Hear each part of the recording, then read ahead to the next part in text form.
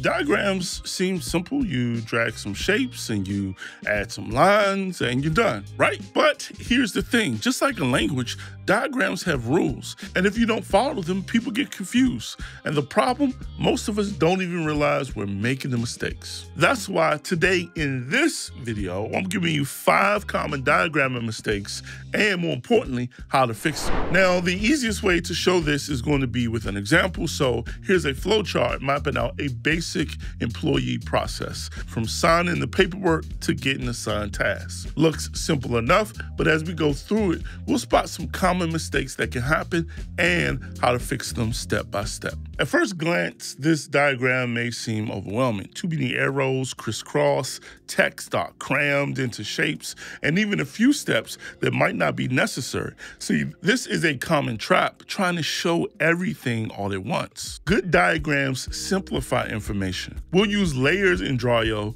to separate optional steps, keeping the core process clean while allowing details to be revealed when needed. We'll split this into pages so different phases like paperwork versus training are easy to follow. Now it's already feeling lighter, but let's zoom in and there's another issue here. Even though we've cleaned up the content, this still looks off. Shapes aren't lined up and some elements are too close together and it feels messy. It's not just about aesthetics. Misalignment can make a diagram feel harder to read. Instead of adjusting everything manually, we'll let Draw.io do the work. Grid and snap and keep shapes on line as we move them. Arrange, align, and distribute shapes evenly in one click. Much better, but now that things are organized, we gotta talk about flow. Right now, the diagram feels like a maze. The arrows are in different directions, and it's not obvious where to start or what happens next.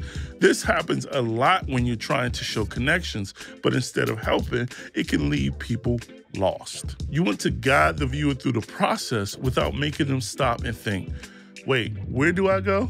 Here's what we'll do. First, we'll use auto layout to establish a clear top-bottom flow.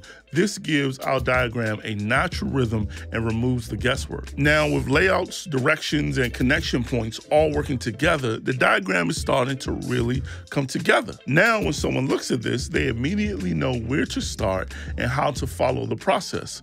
But there's one more problem that might not be obvious at first glance. Take a look at the shapes in this flowchart. Right now, we've got a mix of rectangles, circles, and some random symbols. It might feel okay, but each shape actually has a meaning.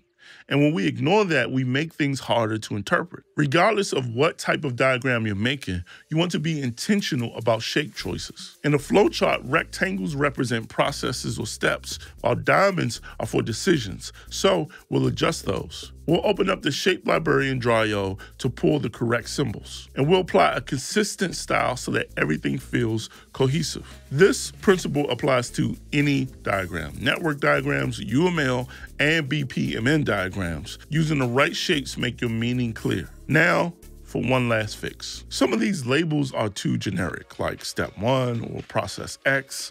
Others are formatted inconsistently, making them harder to read. A great diagram tells a story, and vague labels leave too much unclear. For this one, we'll take the example of a swim lane diagram, a specialized type of flowchart that adds extra info by organizing process steps into lanes that represent different actors or people involved in the process.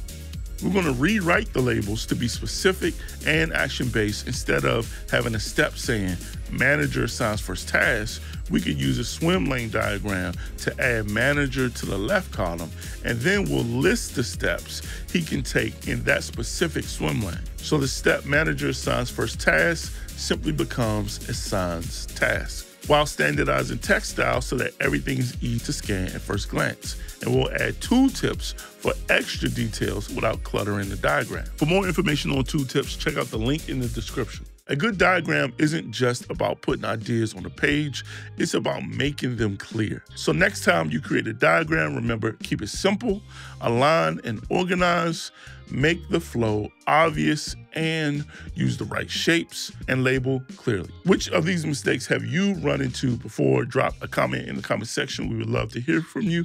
If you haven't tried Draw.io yet, you can try it for free for you and your team for 30 days. Just head over to the Atlassian Marketplace. Can't wait to see you there. Stay connected.